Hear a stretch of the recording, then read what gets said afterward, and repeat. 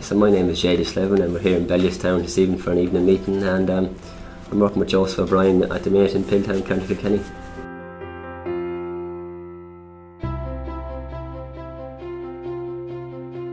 Started as an amateur, I've ridden for seven or eight seasons as an amateur. I started when I was 16 and um, you know, it originally started from home. My father's a trainer and uh, you know, my mother and father are heavily involved. My brother is also an amateur jockey and um, you know, the whole family's involved there and so I suppose it started from a young age at home.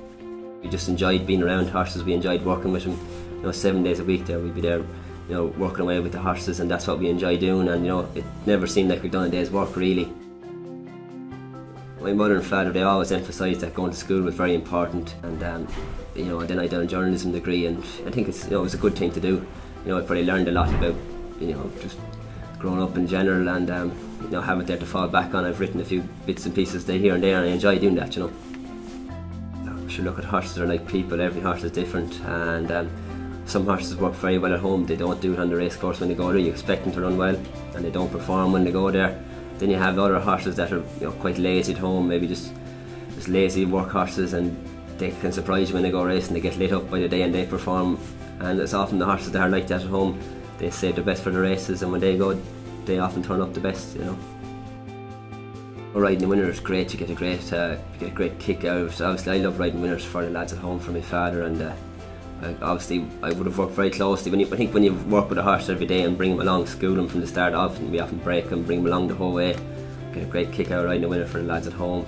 And um, but look I'm sure it's a great feeling and it's great for the owners and the trainers and everyone involved. There's a lot of hard work obviously getting to the races is the finished product. There's a lot of hard work goes on behind the scenes, and when, when things work out, it's great, you know. But obviously the horses are they're being turned out to the best. They've got all the best equipment, and uh, obviously I need the same. You know, I've been very lucky to be involved with Horseware. They've got the best riding out equipment, and they've got great racing gear, and um, you know it's a great comfort going racing knowing you have you know decent quality uh, gear on you, and uh, you know, between between waterproofs and summer gear and all that. So it's uh, you know it's very important that you're comfortable and happy in yourself and you're you know confident in the equipment that you have going out. It's a great peace of mind, really. Obviously, I'm still trying to improve, trying to get better myself every day. But you know, you just need to keep working. Obviously, um, you know, it was a while before I got any kind of run at it all. You need to keep working, keep riding as many horses as you can, riding out for as many people as you can.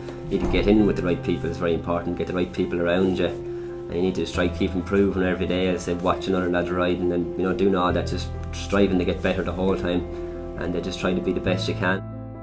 You know, once you go past that finishing line in front, it's uh, you know makes it all your hard work. It's, it's really really worth it. And then I suppose the biggest problem you have then is trying to go out and find the next winner. You know.